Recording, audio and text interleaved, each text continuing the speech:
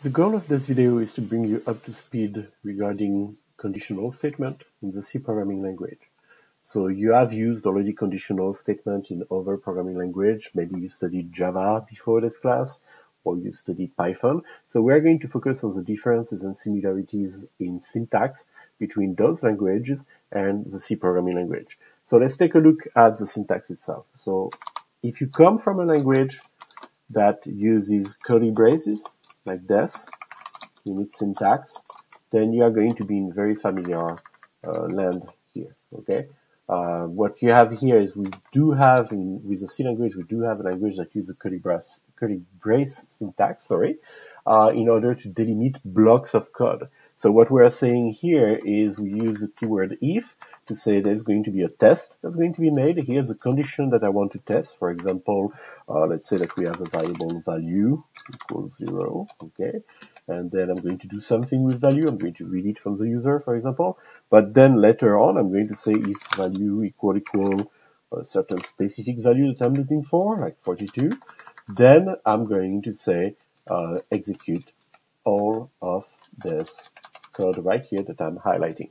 So the curly brace allows us to delimit a block of code, okay? And in this case, this is a block of code I want to execute when the condition value being equal to 42 is true.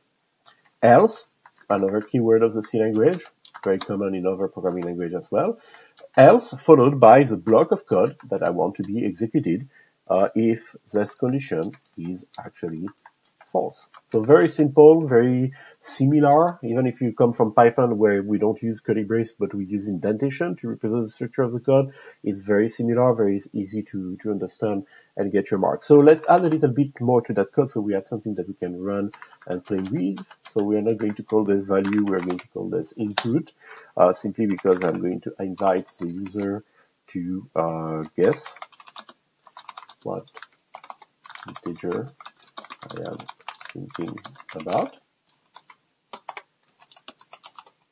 Okay, and then scanf read from the user percent d ampersand. So we are going to talk more about that ampersand, but right now we use it as a recipe. Okay, ampersand followed by the name of the variable where I want to store whatever the user uh, types. And here I use the percent d format specifier here to say I want to read actually an integer value.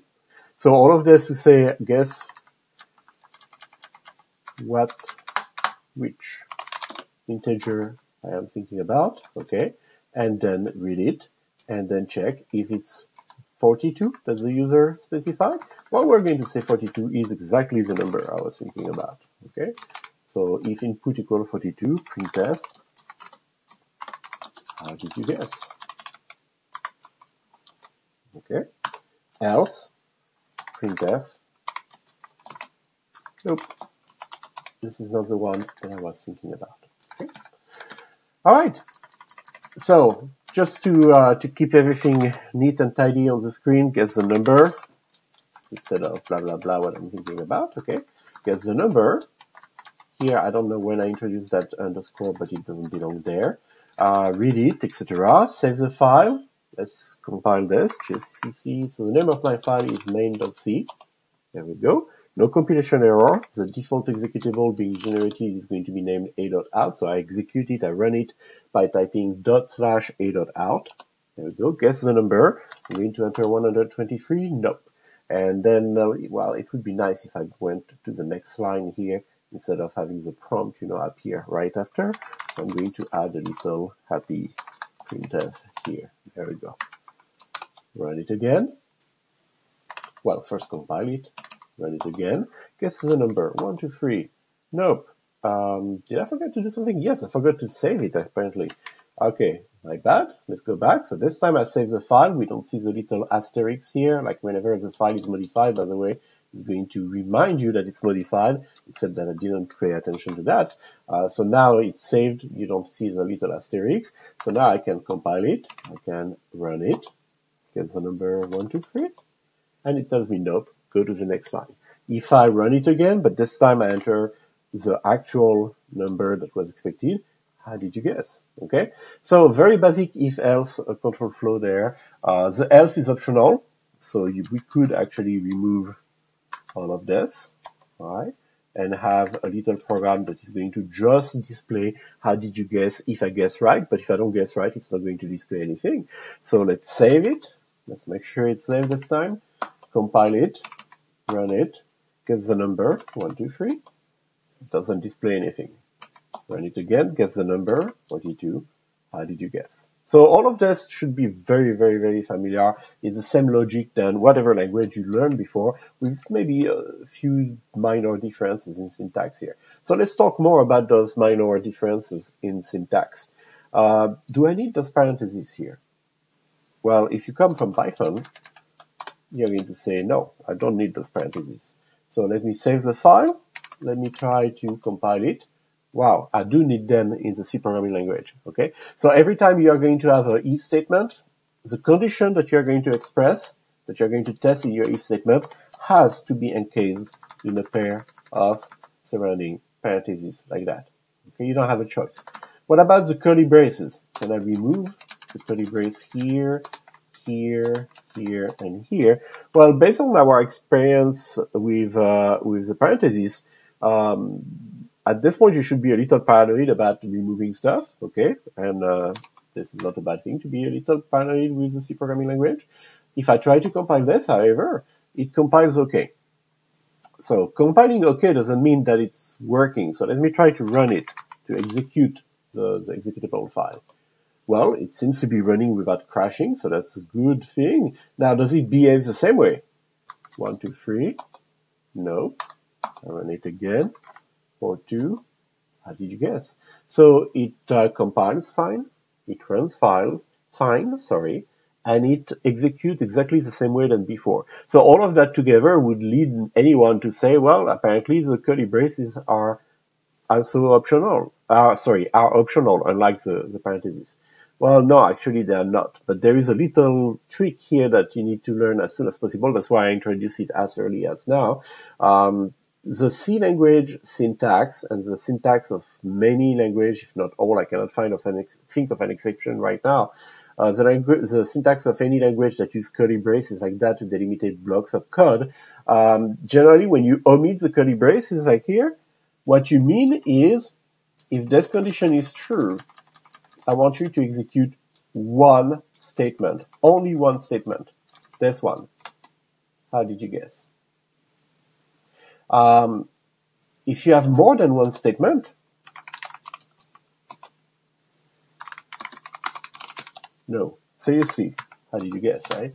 If you have more than one statement that you want to execute if this condition is true, then not using the curly braces is not an option. I'm going to try it right now, okay, GCC.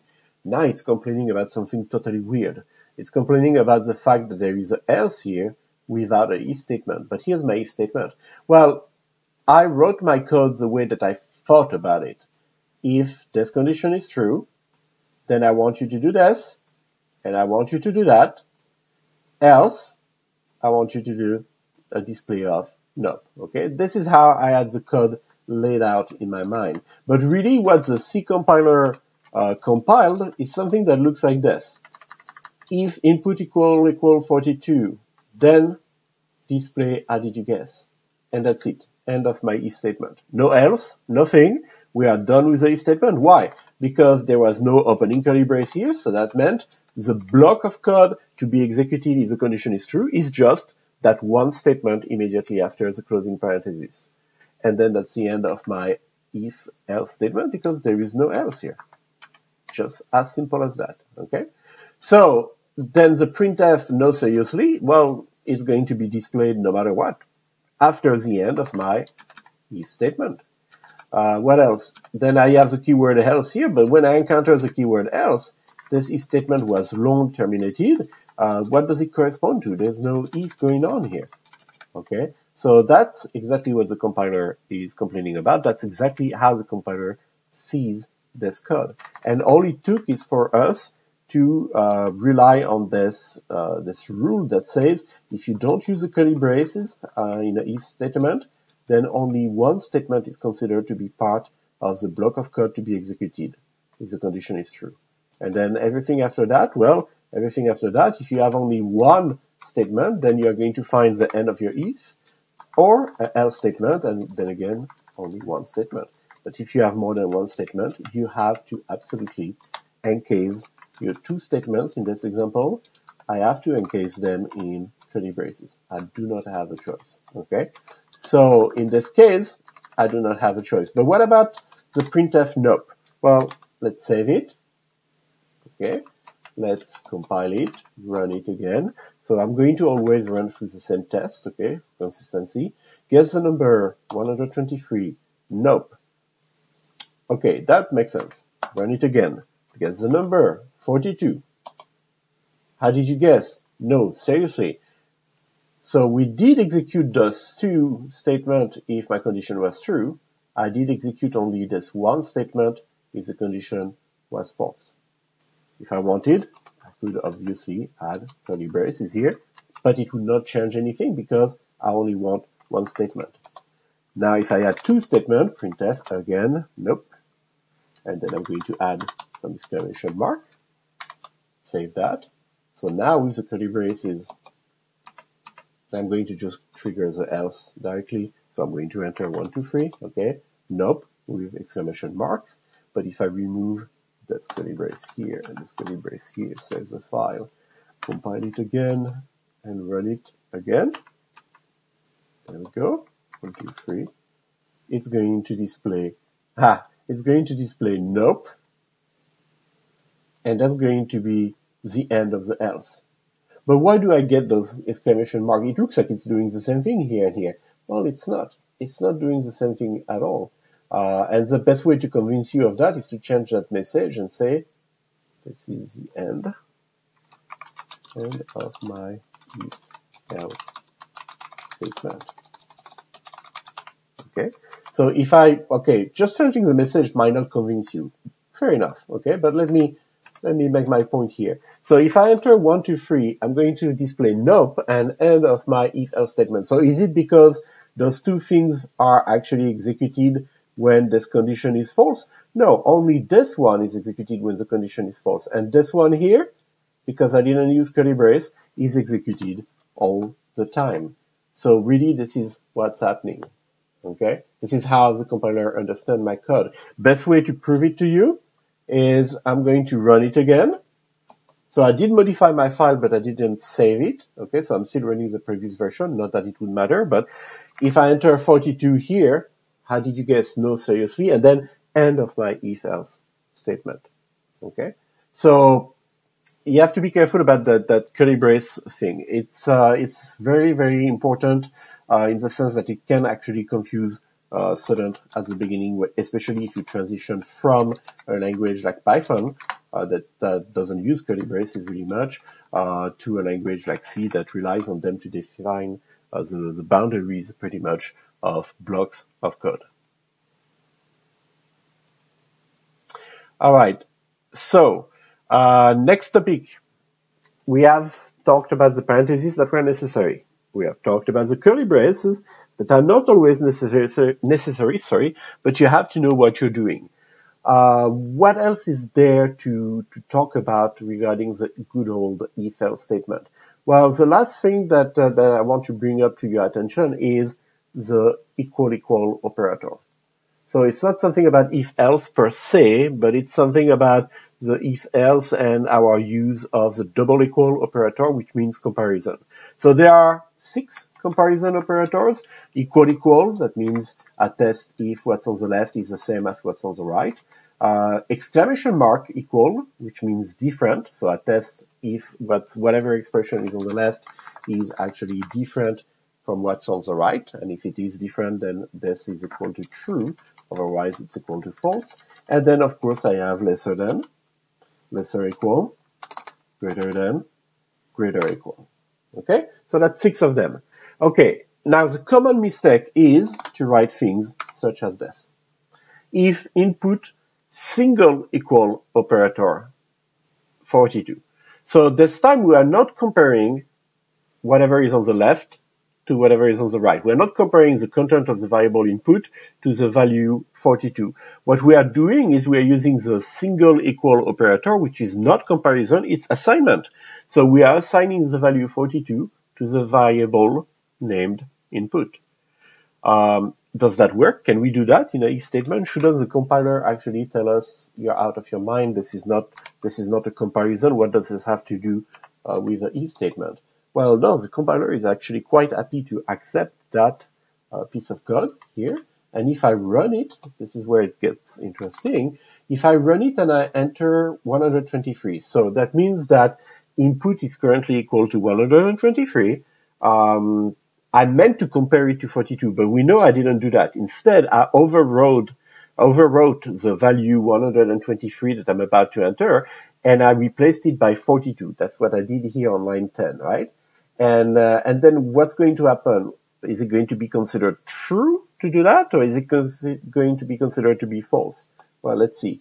123, how did you guess? No, seriously. So it considered that this condition was true, and therefore it executed this code. Okay, very well. Uh, does it change anything if I enter actually 42? No, it doesn't change anything because no matter what I put in this variable uh, with my scanf, I override it here, right? I replace the content by 42. But how, how come assigning a value in and by itself, how come an operation such as assigning a value um, yields a Boolean result, true or false? Well, it's because the C programming language is a little, uh, a lot flexible with what it uh, interprets as a Boolean value true or Boolean value false. We have a Boolean data type. Okay, I talked about it in a, in a different video, but we, we have also this rule that says everything that is zero is false. And everything that is different than zero, like for example, a positive number, one, two, three, four, five, etc., or a negative number even, this is all considered to be true. So that's the first piece of the puzzle. So if I wrote something like, for example, if 42, that's a weird condition, right? Um, that means I'm not really testing anything. I'm just saying, okay, here's my condition. Um, is it true or false? Well, in the C language, 42 is actually true. So let's double check that. Okay, I'm going to save, compile, run it. So now it doesn't care about what I enter even less than before, right? 123 well, the, this is, the expression is true. So I'm executing, how did you guess? No, seriously. Uh, but what if I enter 42? Well, I don't even look at the number I'm entering. It's, my expression is always if 42. So this is always if true pretty much. And I always trigger this part of the code here and never ever consider my else statement. If I add a zero here, well, the rule is everything that is zero is false. Everything that is different than zero is true. So if I add a zero here, let me save the file, what would happen? Let's compile again, run it. Well, again, what I enter doesn't matter. Every time I end up triggering the code that is in the else statement. Why? Because if zero means if false, okay, my condition is false, go to the else. There we go. So why am I bringing this up? Well, like I said, this is half of the, uh, the, the, the, solution of the, to the puzzle, right?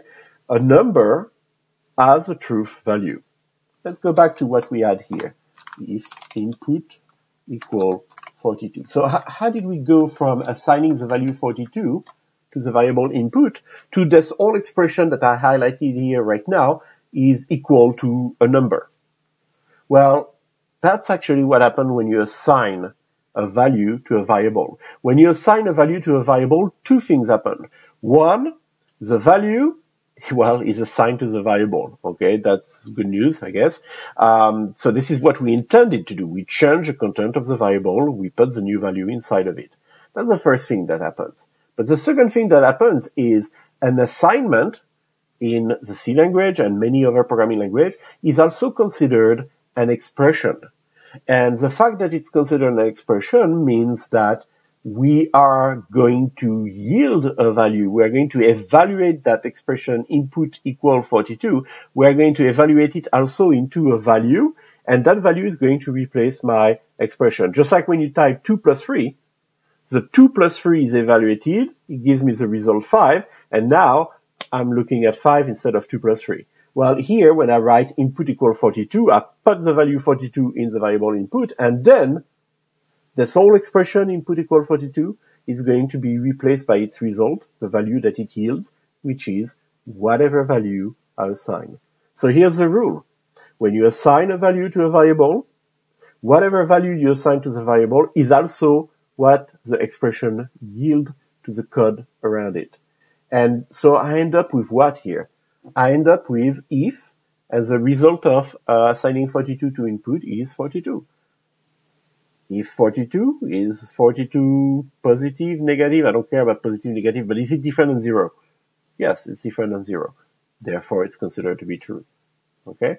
So there is an interesting side effect here where just by forgetting to put that extra equal, you went from testing if input contains 42 to actually changing the content of input to 42.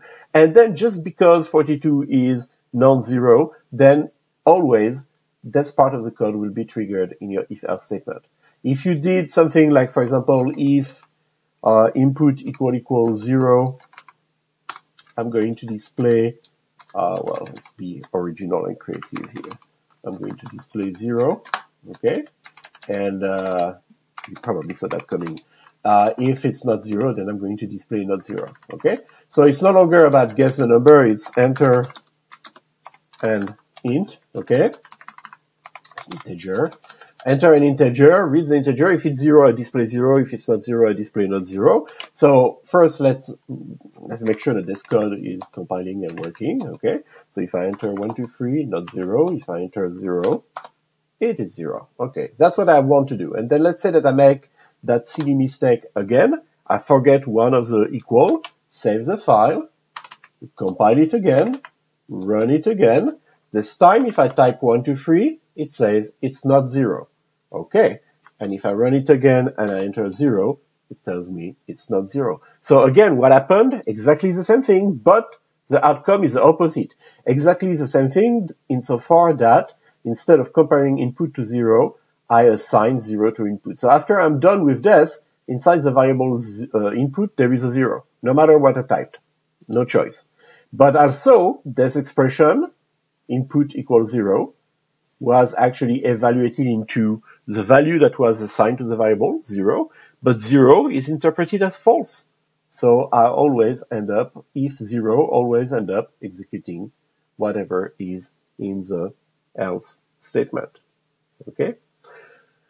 Other than this, so three little things that we have to, to keep in mind, okay, to, to be careful about. Other than this, the similarities, well, you can actually nest uh, if else statement inside one another. Uh, you can put them one after the other. So this is absolutely not new compared to what you learned before, okay, in, a, in another programming language. Uh, so I can say, for example, here, if input equal equals zero, I'm going to display this is zero, else, and I'm going to do if else. And instead of displaying not zero, I'm going to be more specific than that, okay? I'm going to display. So if input is not zero, then if input is greater than zero, I'm going to display positive. Ah, this is not what I meant to do. There we go. I need this piece of code instead. So I'm going to display positive, else I'm going to display negative.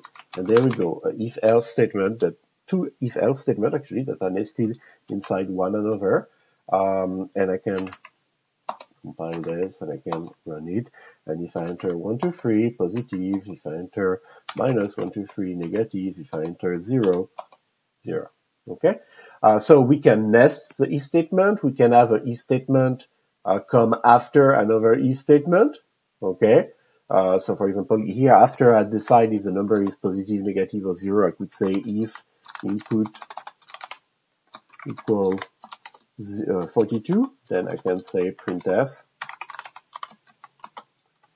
remembered the magic number. Okay, so there we go.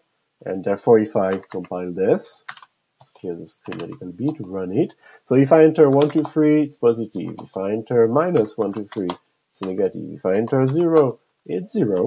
If I enter 42, well, it's positive, and it tells me also, hey, you remembered the secret number from the previous program. Okay.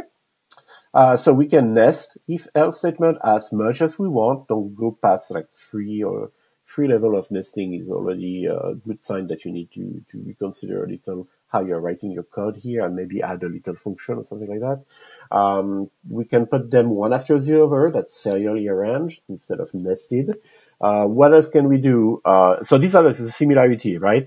So we can uh, we can also use logical operators. Uh, we can write things such as, for example, if a condition. So I'm running out of space here. If and inside my condition, I'm going to have two two terms separated by a double ampersand symbol, which is a logical AND operator. So again, depending on what programming language you studied before to come to, to C, uh, maybe you just wrote a logical AND like this, with a keyword AND. Well, there's no, in C, the syntax is double ampersand, okay? Uh, and we can do things such as, I don't know, uh, if input equal equal uh, 42 and uh, input testing a value is going to restrict us a lot. So let's say instead if input modulo, I'm going to use the modulo operator, I hope you remember it. If not, I'm going to give you a brief uh, reminder here. So if input modulo 2 equal equals 0, which is a way to say, brief reminder coming up, if um, the division, the integer division of input by 2 gives us a remainder of 0, aka if input is an even number. If input is an even number, a multiple of 2, and input is also a multiple of 3, so the remainder of the division of input by 3 is also 0, that's what we are writing here, then I can display printf the value is both multiple of 2 and 3. Okay? So that allows me to have more complex Boolean expression where I have one term here, then logical and another term. And I'm not going to go back into the definition of the logical and uh, the logical or, or the logical negation operator because you already studied that in your first programming language. And the reading assignment is going to do a good job at refreshing your memory if you need a little bit of refresh, uh, refreshing there, okay? But what I'm going to say simply is that the same way that you were using the AND, the OR, and the negation logical operator in another programming language, they are going to be used exactly the same way here, okay? The syntax is a little bit different. The logical AND is a double ampersand symbol, no space in between. The logical OR is two vertical bars, no space in between. So if I tested if input modulo 2 equal equal 0, so if input is a multiple of 2 and input is a multiple of 3, so it's not AND anymore here, it's OR, so I would say the value is either multiple of 2 or multiple of 3. Okay? And then we have this negation operator. So for example, I can write here if the negation of input equal equal zero. Okay, so that's the same thing as writing if input different than zero. So I completely change the meaning of my, my code here. If I wanted to kind of like do two wrongs, make a right type of scenario here, I would have changed this to different. If input is different than zero, and then negation of that. So if I get a true, I turn it into a false. If I get a false, I get turn it into a true. Now I am back to the same meaning. It's just that this is a lot more complicated than just writing, you know, if input equal equals zero. Why would somebody write this like that? I don't know. But this is just to illustrate, you know, the syntax of the negation operator. Uh, in C, we don't write not, we write single exclamation mark followed by a Boolean expression that you want to negate. Okay, so that's that's pretty much it for, for the syntax of uh, our good old if statements. One last thing that I'm going to cover in this video is, and again, that, that can be something that was different in, a, in the previous programming language that you studied. Uh, the last thing that I want to, to cover in this video is that when you start using those logical AND and logical OR operator, there is something going on that is called a shortcut evaluation. So what is a shortcut evaluation? A short circuit evaluation, sorry. What is a short circuit evaluation? The idea of a short circuit evaluation is when you have a if statement, for example, you say, I'm going to read two numbers from the user. Okay? I'm going to call them quite originally input one and input two. There. All right. So I'm going to read two numbers from the user. Enter an integer, input one, enter an integer, input two, and then I'm going to have a condition here in my if statement that uses a logical AND operator. So I'm going to say if input one is equal to 42 and input 2 is equal to 23, then printf, you guessed both. Okay, so we are just playing around here with uh, with some very simple code, right? So I ask the user to enter two values, and then I look at those values, and if the first one was a 42 and the second one was a 23, I tell the user, you guessed both values that I was thinking about, okay? Else, well, else nothing. I'm not going to even bother displaying something. Uh, if you didn't guess both, then you don't get a cookie. Alright. Um, so what am I going to do with this example to illustrate the idea of short circuit uh, evaluation of Boolean expression? Well, if I realize, so to win the game, right, if you can call that a game, to win the game, I need to guess both the first number and the second number. And I did the typo here that I told you a lot of people end up doing without paying attention. So, saving point, right? So, if I, if I win the game, that means that I guess right the first number and the second number. Okay. So, when I'm done here comparing input 1 to 42, if it happens that input 1 is actually 42, I don't know yet if the whole expression is true. I don't know if input 2 is also the number that I was looking for, right? So I'm going to continue and check whether input 2 is 23. Now, if input 1 is 42 and input 2 is 23, that's the meaning of a logical AND operator, then the whole thing is true. Okay. But what if input 1 is not 42? Let's say that I entered a 0 a 0 followed by 23. So input 1 is 0 here, and input 2 is 23. So I compare input 1 to 42. It's false. Is there any way that if the first half of a, of a composite Boolean expression with a logical AND uh, is false, is there any way that the outcome of the whole expression will be true? I refer you to your discrete uh, mathematic discrete structure course, okay, on Boolean algebra. No, there is no way.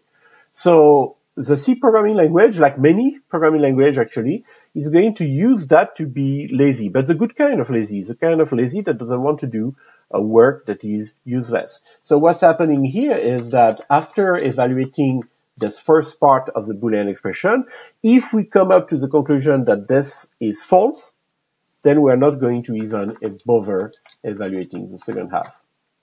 If we come to the conclusion that this is true, then yes, we need to check the second half, and if the second half is true, then the whole thing is true. If it's false, then the whole thing is false. Okay? And the same thing is going to happen with the logical AND operator, except that in the case of the logical AND operator, the rule is kind of reverted, meaning that if this is true, if the first condition of a something and something type of Boolean expression is true, then I don't need to look at the rest. I only need one of them to be true for the whole thing to be true. Again, I refer you to discrete mathematics, discrete um, structure class. But if it's false, then I need to check the second one to see if there is still a chance that my whole expression is going to be true. Okay? So this is very common in programming language. This is called short circuit evaluation of a Boolean expression. Uh, the C programming language does it as well. Very last thing, and this time I promise this is really the last thing. Uh, it's not the last thing that was before. Um, so very last thing now, the if statement is a, well, a statement. What does that mean? That means that it's code that's going to do something, but doesn't yield a value, doesn't result into a value, is not evaluated into a value. What do I mean by this? When you write if, and we're going to go back to something a little simpler here, okay? When you write if input, uh, for example, is lesser than zero, okay, then I'm going to change input and I'm going to say input is minus input. So if it's a negative number, I turn it into a positive number, okay? Well, that's kind of a way to, to do uh, uh, absolute value, right? Okay, you're going to give me a value as an integer, and I'm going to check if it's if it's a zero or if it's greater than zero, I don't touch it. But if it's lesser than zero, then I'm going to change its sign. So if it's negative, I change its sign, I bump it back up to the positive. So this is a way to do the absolute value of a number. And I can do a printf here and say the absolute value of your number is, and I'm going to printf after that. Uh, so I want to printf a number, an int, and this is going to be the new value of input. Okay? So, I have like a little program here that's going to take a number and compute pretty much its absolute value. So let's try it out. There you go. Enter your number 123. The absolute value of your number is 123. Fair enough. Okay. That was a positive number to start off with. So I'm adding just a quick space here. Run it again. What if I give you 0? Absolute value is 0. What if I give you minus 123? Or 132, why not? The absolute value is 132. So we went from minus 132 to plus 132. So why am I using this particular example to make my next point? Because my point is that this is actually, uh, this is a statement. It executes, it does something. However, if I was to say something such as um, absolute equal if input lesser than zero, uh, absolute equals minus input, else absolute equals input, okay? If I was to write the code like that, assuming that I have a variable absolute here, initialize it to zero, why not? And then display the absolute value as the result of absolute. If I just write, so let me rewind back one second here, before we go to this, this version of the example. If I wrote things like this, if input is lesser than zero, then the absolute value is minus the input, um, negative the input. If it's not negative, then the absolute value is just the input itself. If I write it like this, this is just another way, oops, this is just another way to write exactly the same thing that I had before, okay? So if I enter 1, 2, 3, absolute value is 1, 2, 3, minus 1, 2, 3, uh, exactly, 1, 2, 3. If I enter 0, this is zero. Perfect. It's still working the same way. But this shows you that what you're doing is you are uh, assigning, you know, either minus input or input to a variable called absolute. Well, what if I wanted to write something like this? Absolute equal, if input lesser than zero, I want minus input, else I want input.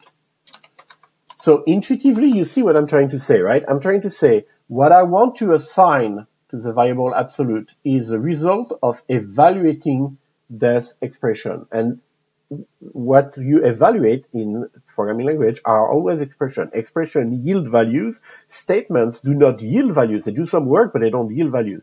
So now I'm trying to, to force my if statement to be looked at as if it was an expression.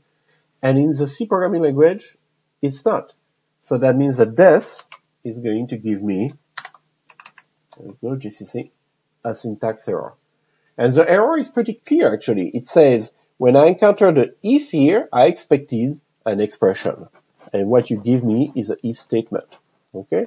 So is there a way for me to write code this way? To say, for example, absolute is going to be equal to minus input if this condition is true, or input if the condition is false? Yes, there is. Uh, there is, and the syntax is a little bit weird the first time you encounter it, and the name is even weirder. It's called a ternary conditional operator. So it's an operator, obviously. It's ternary because it takes three operands, and it's conditional because it allows us to do what a if statement would do, a conditional evaluation, okay?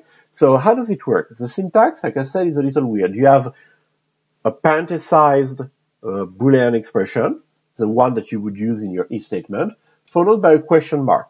So we test if this is true or not. If what I highlighted right now, my Boolean expression is true, then this whole expression here, from here to the end, is going to be equal to whatever I put after the question mark. How do I say else? Colon, of course. Uh, the colon here is going to mean that if this expression is false, then instead this whole expression is going to be equal to input. So this whole thing here, parentheses input lesser than zero, close parentheses question mark minus input, semicolon, colon, input, semicolon. This whole thing here is an expression. So we went away from the if-else keywords, right, that are used for the if-else statement, and instead we use that question mark and colon uh, as part of a ternary conditional operator.